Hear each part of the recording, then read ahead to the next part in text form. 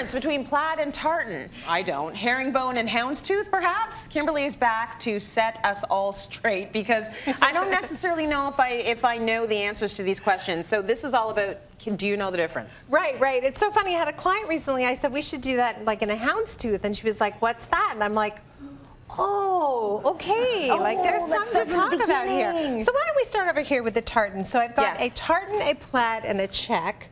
Tracy. So I think that this is the check. Yeah, that was easy. That okay. was a, that was a give me. A tartan and a plaid. Huh? Yeah. What's the difference? Help me. Do you think this is the tartan? No. Okay, so this is the tartan and this is the plaid.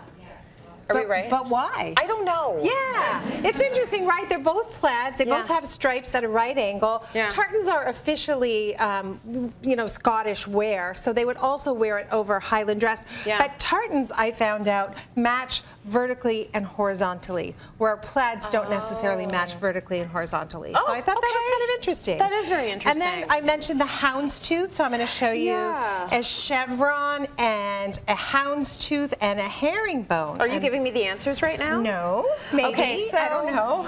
Um, Which so, would you want to eliminate one? I think this is a chevron. That is a chevron. Very good. Okay, good. And I think this is a houndstooth. Oh, she's got it. Good. And, then, and, and this is herringbone.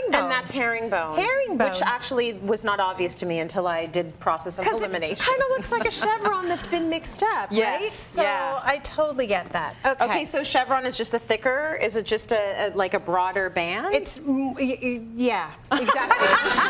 the, the, chevrons are very uniform where the herringbones can go off course a little bit. You threw okay. me with that, yeah, me there. Sorry. Okay, this, this one is a medallion. Okay and a paisley. This is paisley, that's medallion. Yeah, am I right? for the paisley is also medallion, so I tricked you. Oh, so they're both medallion. Because medallion just refers to anything that's free floating with a background. Okay, okay so that's a medallion. That's a good. Um, okay, here's a tricky there. one: raw silk mm -hmm. versus linen. Tough. Mm, I'm going to go just in according to a touch test that this is linen and this is the raw silk. She got it, but yeah. it would be hard to see just visually, right? Visually, you can't tell. So interesting. Yeah, you um, kind of have to touch it. And real silk and faux silk. Oh boy. Mm.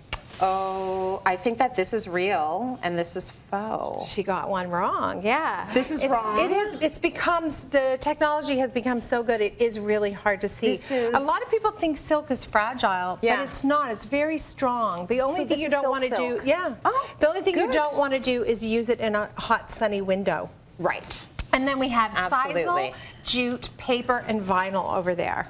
Oh boy. I know. Do you want me to guess what the, what they are? Well, try to pick any one of them. Tell me what the names are again. Sisal, jute, paper, and vinyl.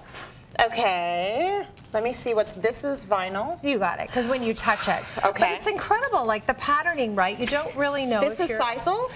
That's paper. Oh. Right? Okay, what's which one's so it's going to jute? matter. The application is going to matter, and you're just going to have to ask. Okay, I know that you wanted to show us the tiles for sure. I definitely am going to show you the tiles. Yeah. Which are one is herringbone and one is chevron, and you should be able to get this right now.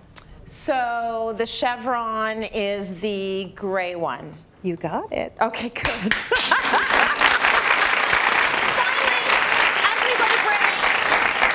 versus faux. I say this is real and this is faux. Am I right? Which one is real? This is real. Oh, it is. So okay, hard to tell.